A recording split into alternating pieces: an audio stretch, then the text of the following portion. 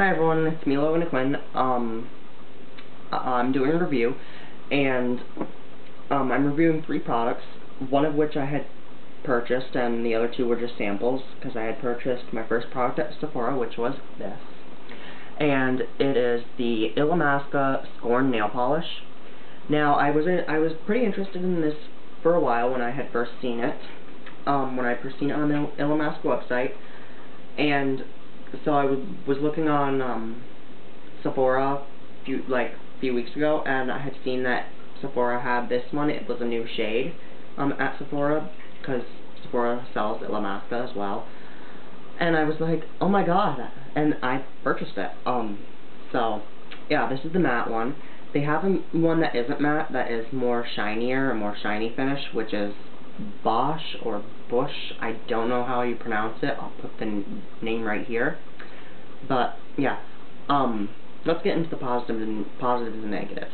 I'm gonna start with the positive. This is this is very crease not crease resistant. It's very um, chip resistant.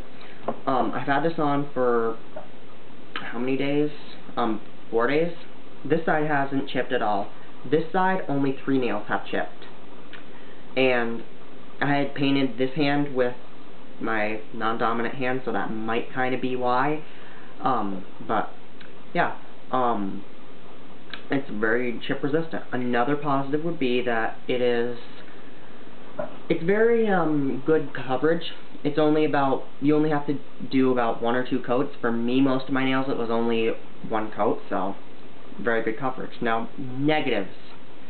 The price, it is quite um, hefty. It is $14 at um, Sephora, and I believe 21 pounds or 19 pounds at um, Illamasqua. I'm not 100% sure.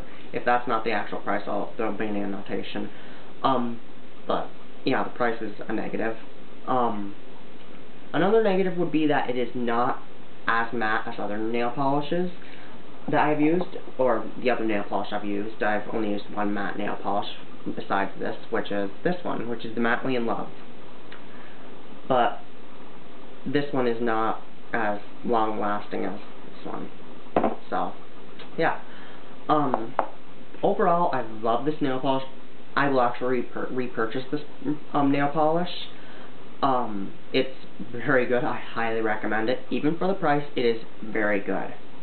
Um, it's beaten all black nail polishes to me. So, I per I love it. Even though it's not fully matte, I still love it. I, I just do. Um, another positive would also be the packaging, but packaging doesn't really count as product, so, yeah. Next would be one of the one of the samples, and that and it is the Guerlain. I think that's how you say it. Abeille Royale Youth Serum Firming Lift and Wrinkle Correction. And it looks like this. It's just a nice jar and it has a dropper. Oop, and thing just came out. Um, and basically it's just youth serum. It's, um, it's very liquidy. The consistency is very liquidy. It's not, like, so liquidy that it's gonna run down when you put it on. So yeah. Um, and basically what you would do is you would either put a little bit in your hands, you would drop a little bit on like your hand or your finger, and then you just rub it into certain areas or just um, your whole face, and it will just help firm it up and all that. And um, or you could just use the dropper and just drop it onto your face, but I I don't really know, but um, I don't. I probably would put it in on the back of my hand, or or not the back of my hand, but on my hand. But yeah, and um, I did have been using it. I use it like around here. Um, and some of you are probably like, why are you using it? You're really young. Because I want to prevent wrinkles um, from um, happening too soon. So yeah, prevention is key. Now on to the negatives and positives. Positives. Um, it smells really good. It's very good. It's a very good scent. It's a very floral scent. Um, now for the youth um, properties, I have looked on the Illamasqua, not Illamasqua, the Sephora website, and the reviews on it have all been good. Everybody who has used it and has reviewed on it has said that it is it's fantastic. It is it lives up to what it, what they say it does and everything like that. Even the short term um, uh, effects are fabulous, and short term effects are fabulous. Just imagine what the um, long term are. So, yeah, it works. Um, a negative about it would definitely be the price. It is $140.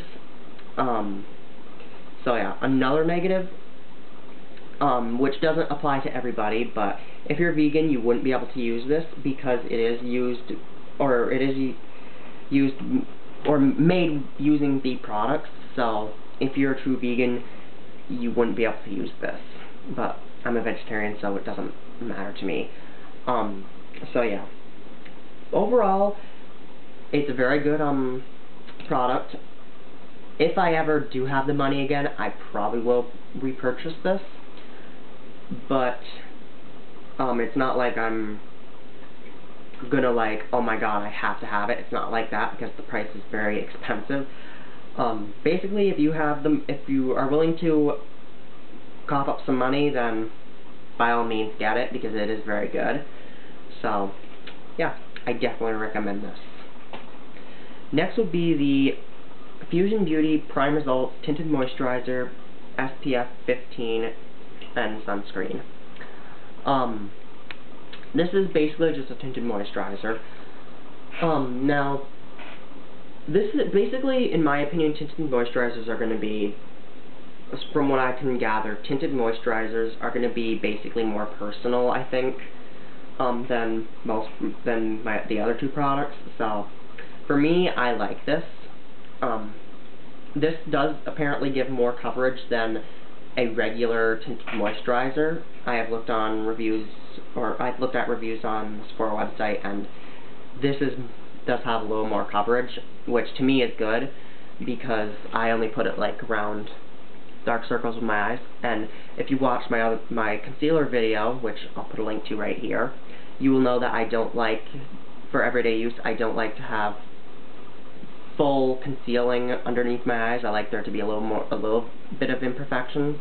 So, yeah. Um, but it doesn't um, conceal perfectly, but it does cover a little bit. So, yeah. Um. So that's a positive. It does cover. Real. It does cover pretty good. Um, it covers better than most ones. Um, it um, um, negative would be that some people have said that it is quite thick, and it is. Um, and now the positive and negatives are going to be messed up because um, although it is thick, it ha it's very velvety and go glides on really well. And yeah, um, another positive would be that it um, it's not crease resistant because like when I had checked in the mirror um, a few minutes later, it did crease into the um, creases in my eyes, but after I had just fixed it, it the creasing was gone. There was no more creasing. I checked um like about an hour later, no creasing whatsoever. So it's very good if you use it just by itself. It's really good.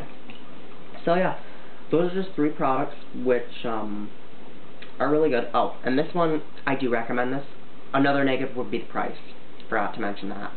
Um, the price is $40, but I probably would cough up the money because it I like it so much. But yeah, um, that's about it. Leave comments, feedback, and all that stuff down below in the um, comment section. Comment, subscribe, whatever.